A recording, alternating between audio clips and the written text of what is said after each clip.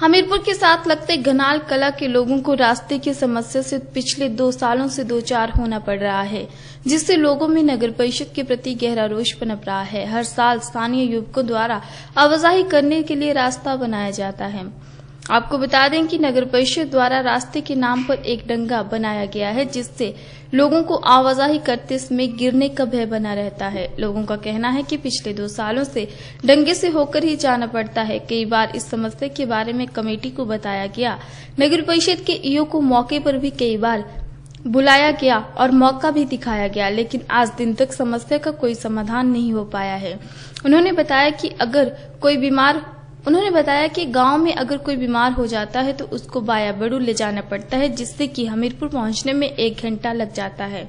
लोगों ने प्रशासन से मांग करते हुए कहा कि जल्द से जल्द इस रास्ते को बनाया जाए, ताकि ग्रामीणों को आने जाने में दिक्कतों का सामना न करना पड़े। आने जाने की प्रॉब्लम और बक्की का प्रॉब्लम है। दो साल से हम आना जाना ये एक मिट्टी वालों ने डंगा दिलाया इधर तरफ़।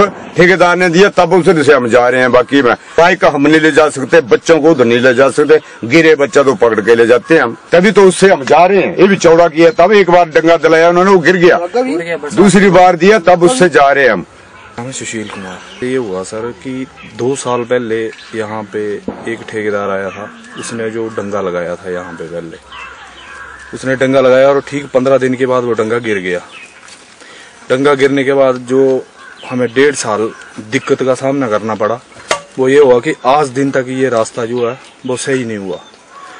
हर बार हमें ये काम करना पड़ता है जबकि ये कमेटी एरिया के अंडर आता है।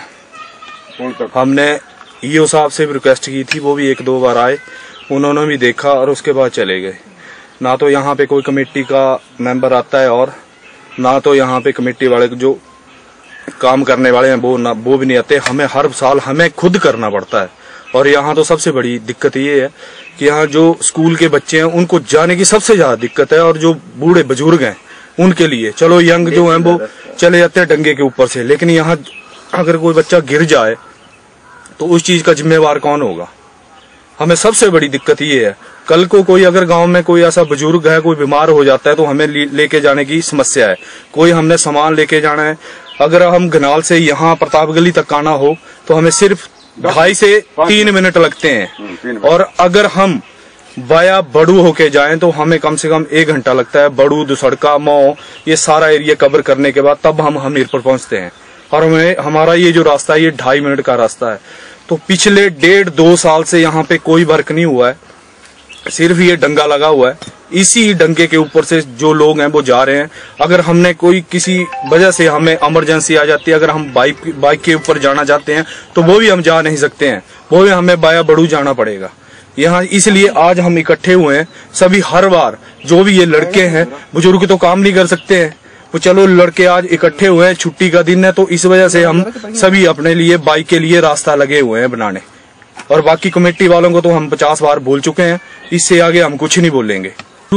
दो तीन गाँवों के लोग जाते हैं इस रास्ते से। चार गाँव के और ये रास्ता जो है पिछले मतलब लगभग दो साल से बंद पड़ा हुआ है। और हमारे बच्चे जो स्कूल जा रहे हैं छोटे बच्चे हैं अगर कहीं इस डंगे के ऊपर से जा रहे हैं वो कहीं नीचे गिर गए तो वो प्रॉब्लम है हमारे लिए। इस रास्ते से अकेला हम भेज नहीं सकते और अकेला बच्चा तो कभी जा ही नहीं सकता है क्योंकि अगर बच्चा स्कूल जा रहा है तो उसको लाने ले जाने के लिए हमें एक बंदा साथ में चाहिए। और रही जैसे मार्केट जाना हो हमने तो मार्केट हमारा यहाँ से दो ढाई तीन मिनट का रास्ता है इस रास्ते से। और अगर हम दूसरी साइड से जैसे हम अपना व्हीकल लेके जाएँगे तो हमें लगेंगे लगभग पौना घंटा एक घंटा। तो यही है कि कृपा करके इस रास्ते को मतलब जल्दी से जल्दी जो है वो ठीक करवाया जाए ताकि हमें जो दिक्कत हो रही है उससे हमें निजात मिल सके। दो साल से खराब है और ज़्यादा बुज़ुर्गों को यहाँ पे हॉस्पिटल अगर कोई बुज़ुर्ग बीमार पड़ जाता है तो उसको, उनको हॉस्पिटल पहुँचाने के लिए दिक्कत होती है। अब हमें जाना पड़ता है बड़ू साइड से। वहाँ से कम से कम एक घंटा लगता है जाने के लिए।